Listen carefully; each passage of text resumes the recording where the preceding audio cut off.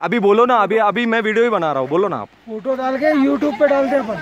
आपका क्या कहना है? फेसबुक में यूट्यूब में सब डाल दीजिए कॉक्स एंड किंग में कि पूरे दुनिया जाने के कैसे कैसे टूरिस्ट को परेशान करते हैं ये लोग। यहाँ पे हर कोई एजेड पब्लिक को भी तकलीफ़ होती है। Please don't go with Cox and Kings waste है।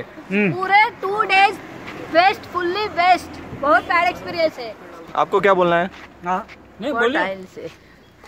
टाइल से comparing you with Thomas Cook you are last worst comparing with Veena world zero totally zero Cox and king गर्म पानी नहीं आता यार नहाने के लिए। पानी पीने नहीं देते लोग। आप बोलिए। No pani no dinner no breakfast no lunch worst worst service एकदम बेकार सर्विस है। कॉक्स एंड किंग्स की एकदम ज़ीरो सर्विस अच्छा नहीं है। आपको क्या बोलना है मैडम? सुपरवाइजर तो दिया ही नहीं है। गाइड ही। नहीं है बस एक एक्स्ट्रा पैसे ले लिए सुपरवाइजर के और कुछ प्लानिंग नहीं है। हाँ, पूरा पैसा बेस्ट